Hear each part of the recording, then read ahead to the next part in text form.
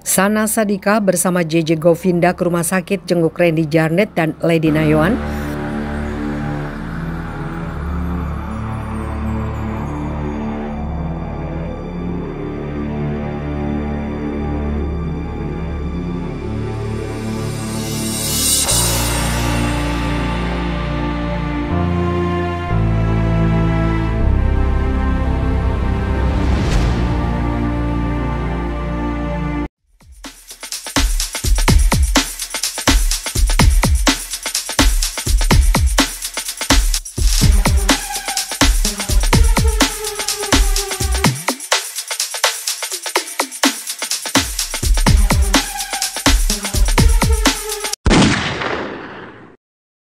Kali ini beredar informasi Sana Sadika bersama dengan suaminya JJ Govinda ke Pergok pergi rumah sakit.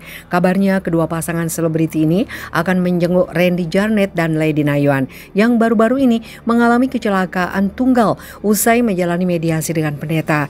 Informasi ini disebarkan kanal YouTube Yans Channel dengan judul Terharu. Sanas dan JJ jenguk Randy Janet dan Lady hari ini hingga Raffi dan Nagita berita doa terbaik.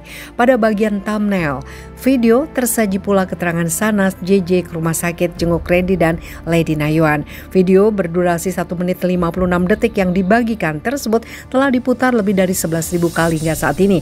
Namun benarkah informasi tersebut? Setelah menyaksikan tayangan ini sampai akhir, kabar mengenai Sanas dan JJ pergi ke rumah sakit untuk jenguk Randy Jarnet internet bersama Lady Nayuan tidak dapat dibuktikan kebenarannya. Pasalnya, isi dari video tersebut malah menyajikan cuplikan Sanas yang terlihat menangis hingga penjelasan kronologi kecelakaan yang dialami Randy dan Lady. Sementara kabar mengenai Sanas dan JJ pergi ke rumah sakit justru tidak disinggung sama sekali.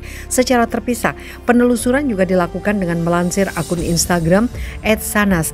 Tidak ditemukan unggahan yang membuktikan dirinya bersama JJ pergi ke rumah sakit. Begitu pula saat melansir akun Instagram @lainayawan. Tidak ada unggahan bahwa dirinya dijenguk oleh adik bungsu Raffi Ahmad bersama suaminya JJ Govinda. Dengan demikian dapat dipastikan kabar Sanas bersama JJ jenguk Lady Nayuan dan Randy Jarnet di rumah sakit merupakan berita hoax atau tidak benar.